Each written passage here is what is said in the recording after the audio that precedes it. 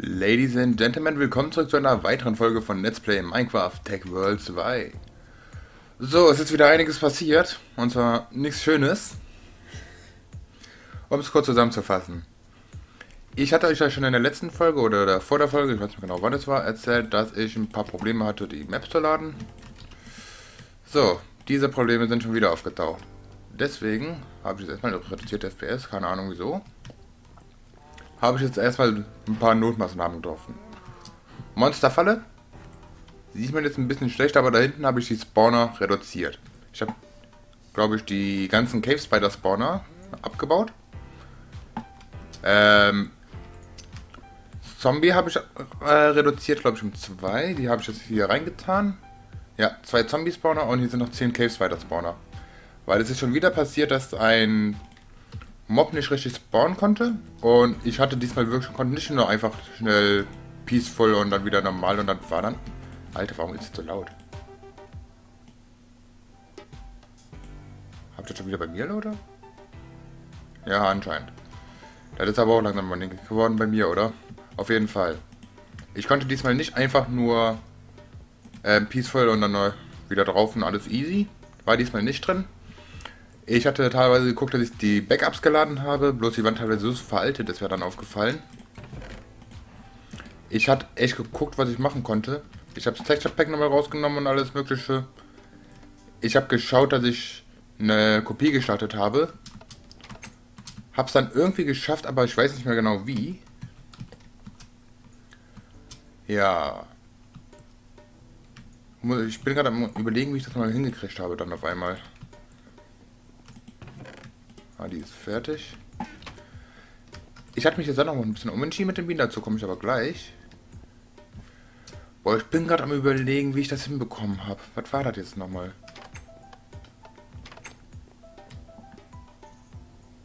Ich hatte auf Peaceful gestellt, das weiß ich noch. Ich hatte... Meine Güte, ich habe mein Alzheimer-Gedächtnis. Boah, ich komme gerade echt nicht mehr drauf. Es tut mir leid, aber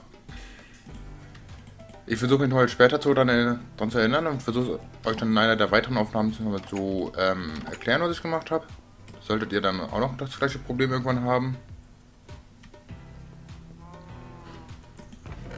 Und au, au, au. Jo. Ähm, ja, was hatte ich dann noch gemacht? Ich habe die Reaktoren, die waren komplett leer gepumpt halt, die waren wirklich komplett leer. Da habe ich noch ein bisschen Yellorium reingetan und hier neues Uran. Dann habe ich mich mal geguckt, dass ich, habe ich mich mal geguckt. Ähm, ich habe auf jeden Fall mal geguckt, dass ich hier die Erzverarbeitung ein bisschen schneller hinkriege. Und entweder dürft ihr jetzt gleich lachen oder ihr könnt sagen, wow, nicht schlecht. Ich habe jetzt hier oben nochmal eine Reihe Steam Engines reingeklatscht. Ich mache das mal ganz kurz auf. Na? Halt hier nochmal neuer Netherrack.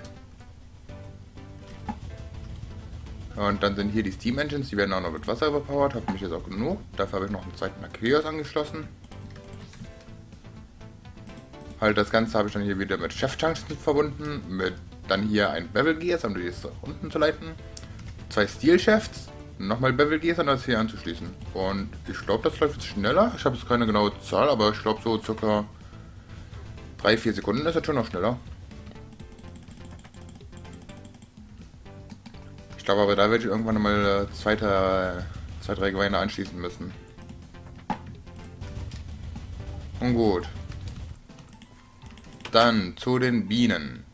Ich habe die eine Biene fertig laufen lassen. Wir hätten jetzt normalerweise eine... Ähm, die Cultivated war fertig. Bloß mir ist aufgefallen, verdammt, du hast ja gar keine Valiant. Deswegen bin ich mal auf eine andere Bienenart gegangen. Ich habe jetzt hier eine Tolerant Princess gemacht und ich muss mir selbst schon, was ich mir daraus machen wollte. Eine Robust Queen. Ich glaube, eine Robust Queen war das. Dann später mit der Imperial Princess eine Resilient. Ähm, ja. Stimmt, dann wollte ich auf die Lapis Queen gehen. Und dann hier richtig provokant auf die Diamond Queen. Was die Diamond Queen macht, die macht hier Diamond Comps und naja, Diamond Comps haben zu Diamond Fragments. Und die geben Industrial Diamonds. Kann man mal machen. Ich meine, Diamanten kann man immer gebrauchen, auch wenn es Industrial Diamonds sind. Vor allem ist es schön, die sind noch unifiziert. Also ich würde sagen, Diamanten können wir ja immer noch gebrauchen. Haben wir ja in der einen der letzten Folgen gesehen. Ähm, auf jeden Fall. Ich habe schon wieder vergessen, was ich jetzt für eine Biene nehmen muss. Die Robust war die Tolerant und eine Rocky Princess. Okay. Rocky, Rocky, Rocky Princess. Tolerant Princess können wir mal kurz wegtun. Dann heißt es Rocky Princess, Tolerant Drone, Robust Queen. Also das Ganze zieht auch ordentlich Energie, wie man hier sieht. Ich jetzt mal ein Ender Generator reicht da echt nicht aus, aber naja, das ist das billigste, was wir machen konnten. Und ich bin gerade am überlegen, was ich eigentlich noch in dieser Folge machen könnte. Ich bin, ich bin schon, naja, wow, sechs Minuten schon, what the fuck. Ich habe jetzt echt kurz, ich dachte, wir wären irgendwie so zwei, drei Minuten erst drin. Ich war mir überlegen, wie ich die Folge filmen kann und naja, mir ist echt nichts eingefallen. Ah ja, hier habe ich noch ein Waterheft, das muss ich noch aufmachen. Habe ich einen Scoop dabei? Natürlich nicht. Ich habe es nicht von... Ja, lass mal den Scooperator MX200 Turbo machen. Aber ja, EU haben wir ja eigentlich. Lass mal die mal machen. Ich will mal wissen, was der macht. Da habe ich wenigstens ein ist mein Ziel für die Folge und ich stehe so ganz blöd da. Naja, blöd dastehen tue ich eigentlich immer, aber naja, ihr wisst, was ich meine. Ich brauche erstmal ein paar Stickies.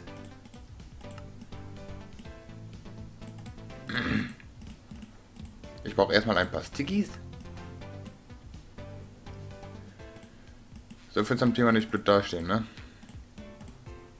So, der Scoop ist fertig. Tun wir mal da rein.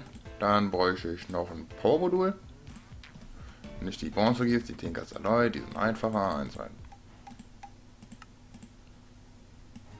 Brauchen wir nochmal das Tinkers Alloy. Oder, nee, nicht mit selber, mit Zinn. Aber echt so viel Bronze verbraucht, hatte ich schon eine große Ladung gemacht. Eins, zwei, drei.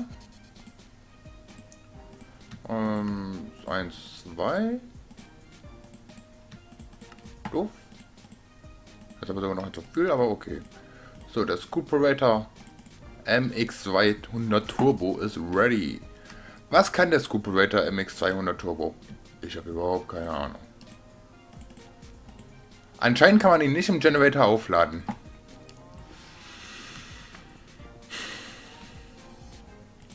Kann man den eigentlich dann so? Ich kann das ja hier seit Ne, das. Nein, nein, nein, nein, nein, nein. Das ist mir zu gefährlich. Verdammt. Und ich stehe wieder richtig schön blöd da. Ich liebe es. Ich weiß aber, was wir noch machen könnten. Und zwar haben wir jetzt hier einen Pink Slime Bucket. Ne, wir machen jetzt was anderes. Wir machen erst noch etwas ganz anderes. Und zwar machen wir uns erst einen Meat Packer. Ja, danke. Leerzeichen sollte schon dabei sein. Den Meatpacker, der sollte eigentlich relativ schnell gehen. Wir brauchen dafür vier Bricks.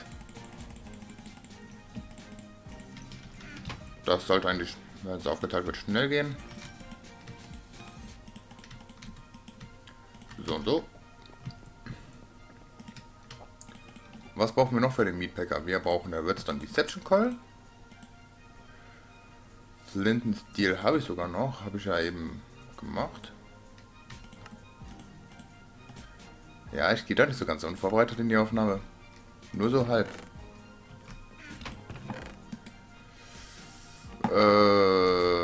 Suche ich jetzt eigentlich hier? Bin ich... Natürlich bin ich total ballerballer. Baller. Dann wollte ich mal ganz schnell hier was Platz machen, indem ich die Fluorite wieder rausnehme.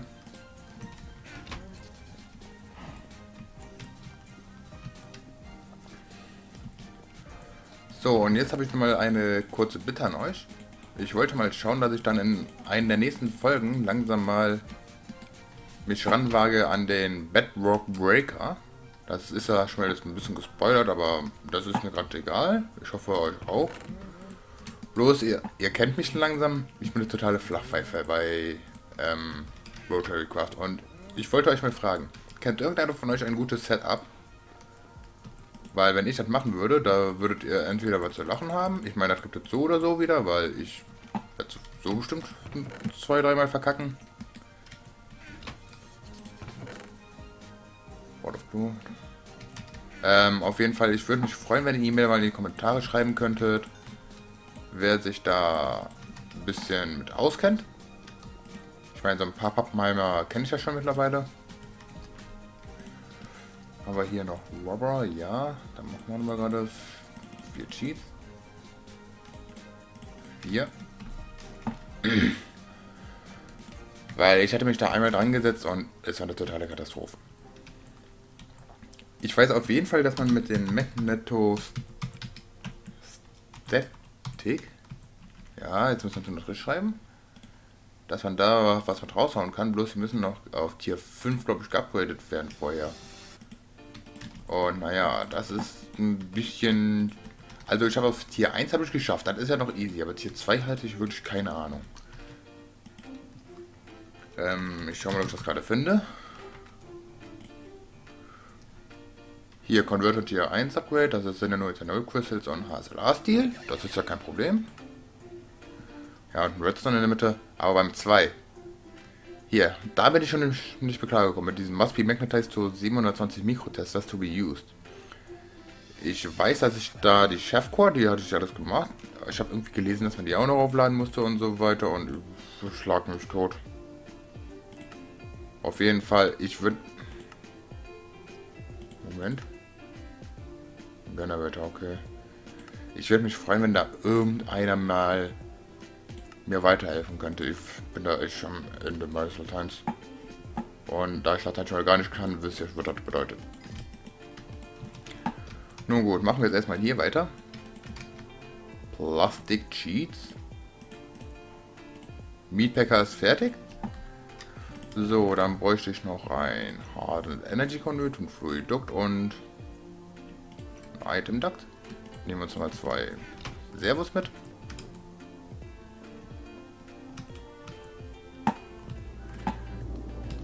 So. Dann reiße ich hier mal ganz schnell die beiden Tanks ab. So, dann wollte ich schauen. Ich habe Ah, wo wollte ich den hinsetzen? Ich glaube schon dann mal ein paar mehr Item Ducts. Haben wir ja noch ein paar über.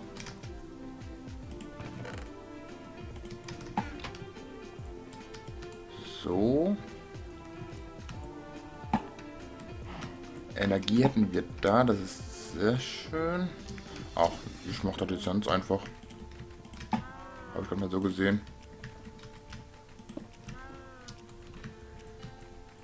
Wir haben ja jetzt hier schon eine Energieleitung. Dann setze ich hier den Mietpacker hin. Der füllt sich dann schon mal was mit Energie auf.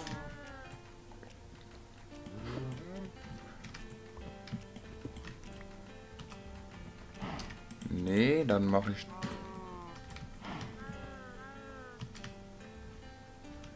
Ah, oder? Moment, ich bin noch ein bisschen am überlegen.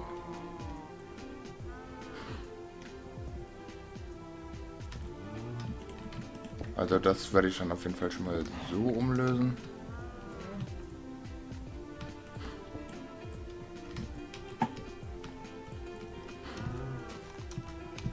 Ihr seht gerade ein seltenes Phänomen, ein Dosch beim Überlegen.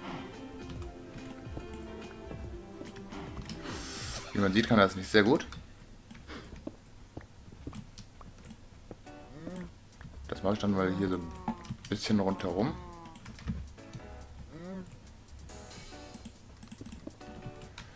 Und dann brauche ich dann noch ein paar Fluiducts. Ja, jetzt weiß ich, wie ich das aufbauen möchte. Muss ich halt für mein geistiges Auge erstmal so ein bisschen darstellen und naja. Ich glaube, das ist ein bisschen verständlich, oder? Wenn nicht, habt ihr Pech gehabt.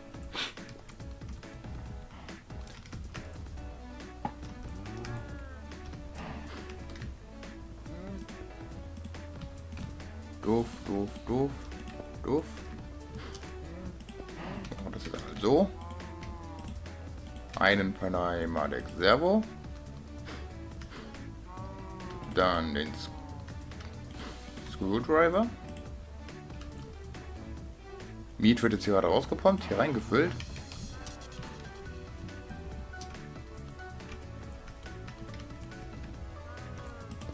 Das lasse ich dann hier rauspumpen. Und ich habe eine Chest vergessen. Haben wir da noch eine drin? Das sollte eigentlich noch eine sein. Dann nicht. Dann machen wir so eben einfach schnell eine. Machen wir schnell eine Iron Chest hin. Oh, komm, machen wir sogar eine Gold Chest.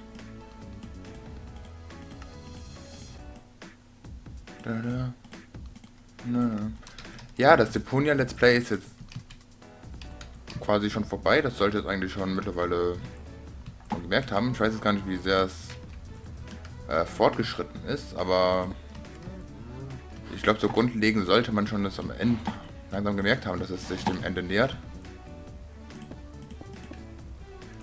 So, und ich bin auch ein bisschen stolz auf mich, muss ich sagen, weil, naja, ich habe da etwas geschafft, das der liebe Trivodo nicht geschafft hat. Ich habe ein Let's Play von Deponia zu Ende gemacht, das auch angeschaut wurde. So, auf jeden Fall, ganz kurze Erklärung. Hier kommen jetzt Raw Meat Ingots hin. Was sind das? Also, da, ihr seht ja hier die Kühe, die haben da so gerne mal so ein bisschen, wenn sie genug Weizen haben, haben sie nicht, aber auch nicht mehr so allzu viel. Die Kühe nehmen das Weizen an, machen erstmal ein bisschen Amore, bla bla bla, Liebe und so weiter, Fiki Fiki. Da, fallen dann hier runter, wenn sie groß werden, sehe dieses wundervolle Exemplar, Kuh tot. Slaughterhouse hat hier zwei Tanks, einmal für flüssiges Fleisch, also Meat, und Pink Slime. Pink Slime geht hier rüber und das Fleisch geht hier rüber. Fleisch wird dann in den Meatpacker weitergeleitet, der das Ganze zu diesem Barren presst. Diese Raw Meat Ingots können wir dann mitnehmen Können wir dann wundervoll hier in diesen Ofen schmeißen, wo vorher das rohe Eisen gebraten wurde. Und wir haben einen Cooked Meat Ingot. Was ist der Cooked Meat Ingot? Wir werden das mal anschauen. Wir können einen Cooked Meat Block machen. Oder Cooked Meat Nuggets. Na, was ist daran? Naja, das ist eine Essensquelle. Also quasi übersetzt, wir fressen das flüssiges Fleisch, was in Barrenform gepresst wurde, gebraten von unschuldigen Kühen, die zwei Sekunden auf der Welt waren und sofort geschlachtet werden. Ein wundervolles Gefühl, nicht wahr? Alter, das ist eigentlich so krass von etwas krass widerlich, wenn du mal überlegst. Ist eigentlich mittlerweile mal die Biene fertig? Weil das würde ich gerne mit euch so... Ja, das dauert nicht mehr allzu lange. Wie gesagt, weil die Bienen würde ich gerne mit euch noch so ein bisschen live machen, dass ihr seht, dass ich es auch gemacht habe. Nicht, dass es dann heißt, äh, der hat gecheatet. Weil ich finde, die Diabienen sind schon nicht, gar nicht mal so ähm, naja, einfach. Hm, ist schon ein kleinerer Weg dahin. Aber naja, dann wenn die wenn diese Diabienen fertig sind, wollte ich dann mit euch einmal ganz kurz noch die Industrial Playlist zeigen. Aber ich glaube, das wird heute nicht mehr der Fall sein.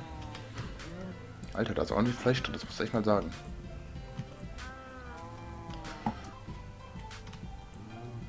Ja, die Monsterfalle bleibt erstmal bei mir lieber was aus. Ich werde schauen, dass ich wann anders wieder, wieder anmache, weil das gefällt mir momentan nicht.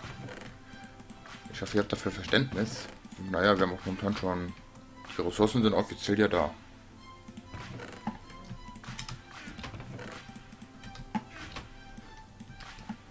Ja. Ich hatte auch mal überlegt, ob wir, wenn wir genug Knochen haben, dass wir dann vielleicht mal so... Oder warte mal, warte, warte, warte, warte.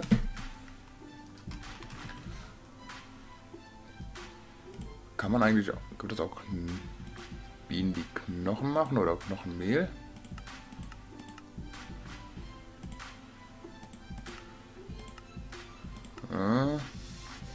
Stone Comp, Skeletal, Frugal, Jizzle. Ja, okay, das machen wir leider noch. Dann halt ich jetzt mal die Klappe. So, was ist dann hier noch wieder? Alter, findet, da kommt aber auch Zeug an.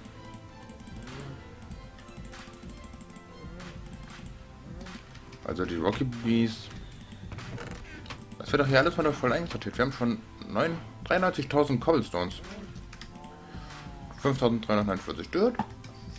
Ja, kannst du mitarbeiten.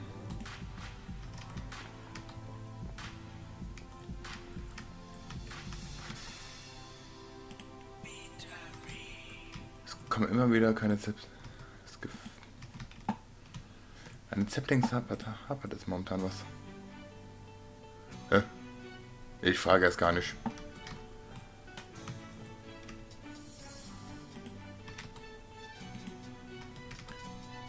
Ja, Zepplinge haben wir irgendwie krass viele verloren. Ich habe keine Ahnung, aber ich habe null Ahnung wieso.